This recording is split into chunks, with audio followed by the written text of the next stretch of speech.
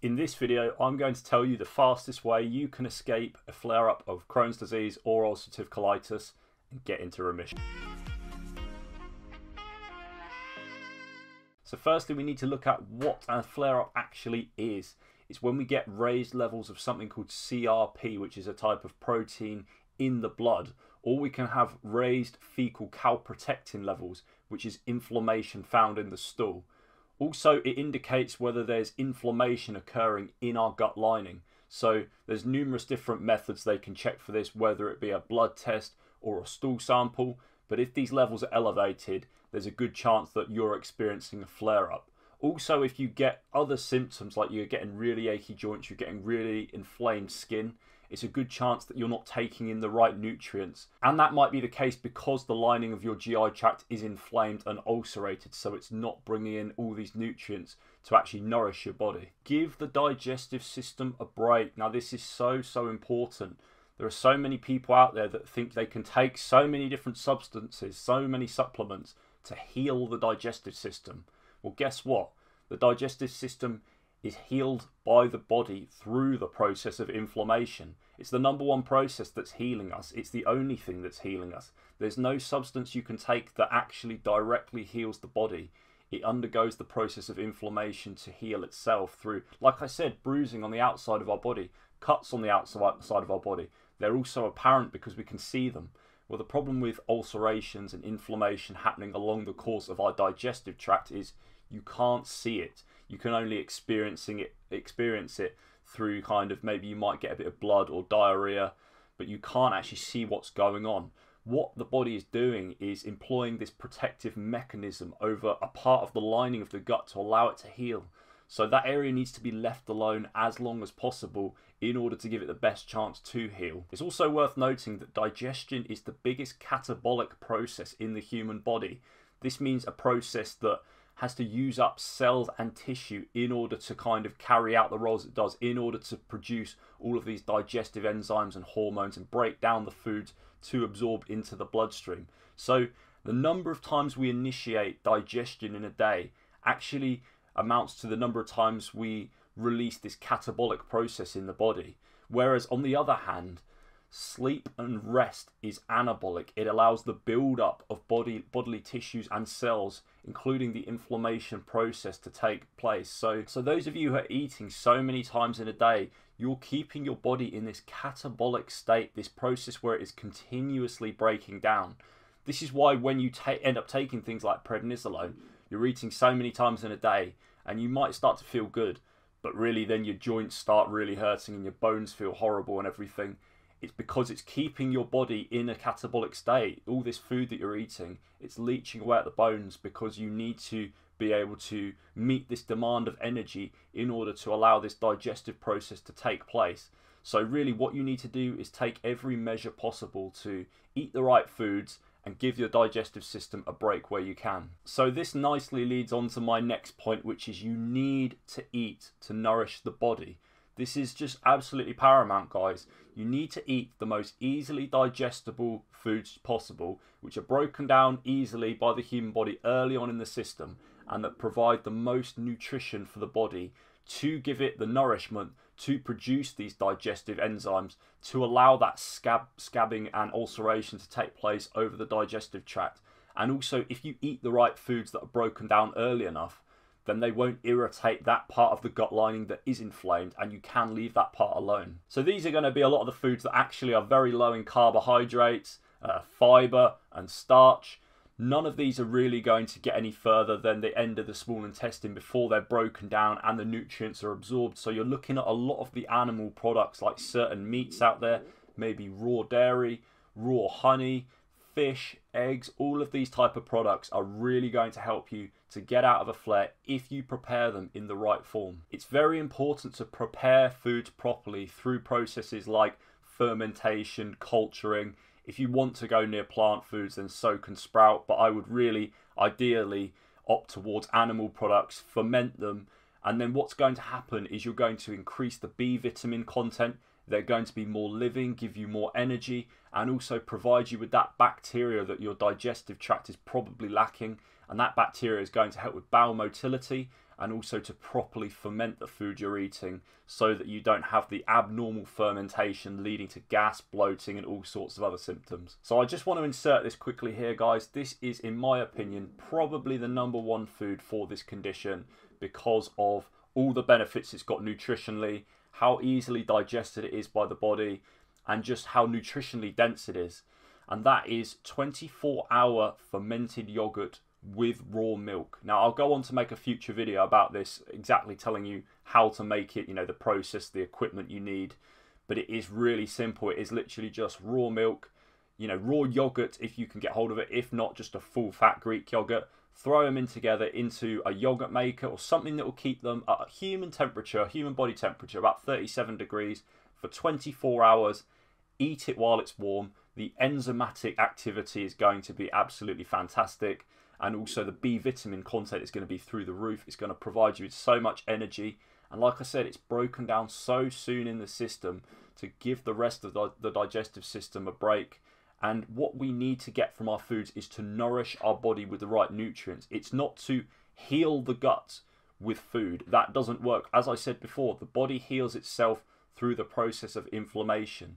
The job of food is to give our body the right nutrients so it can carry out these processes easier. So number four very much leads on to another point I mentioned earlier on in the video, which is about giving your digestive system a break.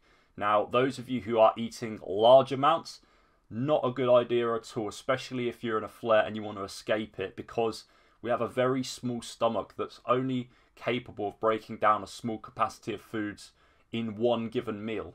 So if you keep filling up that stomach with more foods than it can handle, it's not going to have the digestive juices, the hydrochloric acid to break down all that food you're eating. And because of this, large food particles can actually pass through the stomach into the small intestine and lead to kind of immune response. They can escape through the gut lining and into the bloodstream, leading to all these joint problems you get, all these kind of arthritis issues, eczema, skin problems.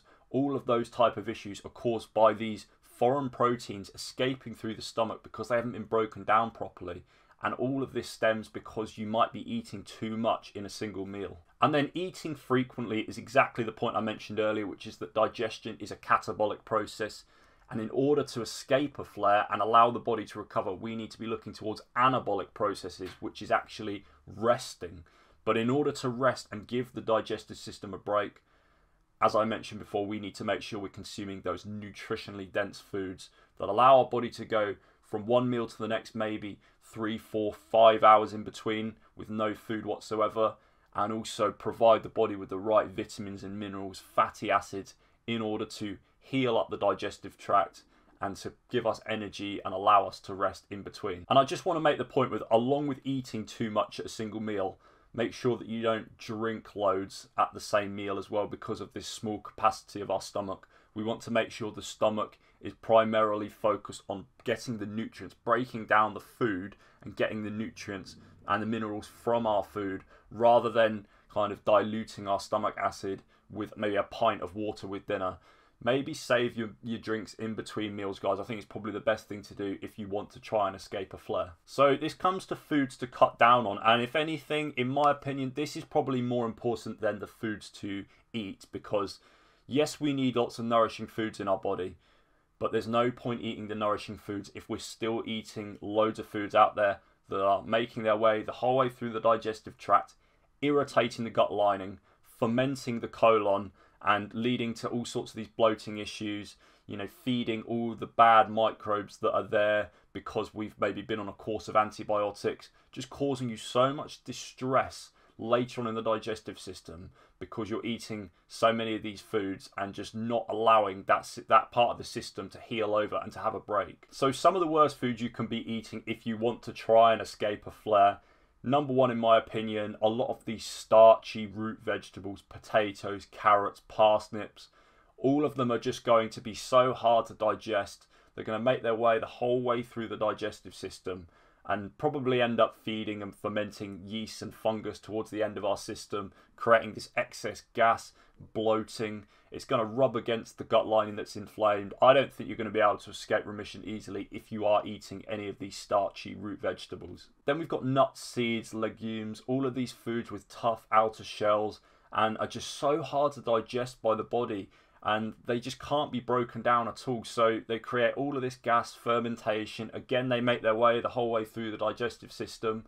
They're going to irritate the gut lining. You're going to probably stay in a flare if you consume these on a daily basis. Gluten and casein are two proteins found out there that are really difficult to break down by the body. Uh, I would probably avoid gluten altogether if you can. As the as with the case with casein is that if you have a raw dairy product, like I mentioned before, a 24 hour fermented yogurt, the fermentation process actually breaks down lactose, which is the milk sugar, and casein, which is the milk protein. So your body can actually absorb it really easily. And there are a lot of people out there that react badly with just milk or yogurt. They get lots of bloated symptoms. But as soon as they ferment it over maybe 24 hours, they can absorb it a lot easier and actually get the nutrients from it. Other foods I would personally avoid foods with high insoluble fiber content. These are just going to pass the whole way through our digestive system because fiber and cellulose can't be digested, going to irritate the gut lining, probably some of the worst foods out there. A lot of the vegetables out there, in all honesty, guys, I would probably stay clear of most vegetables if you can, if you can possibly. And then finally, we've got sugar and refined carbohydrates. Now, these are just going to keep your blood sugar level really high, and they're just devoid of any nutrition our body needs. We don't want to eat for the purpose of making ourselves feel full and satiated. We actually want to eat for nutrition to nourish our body.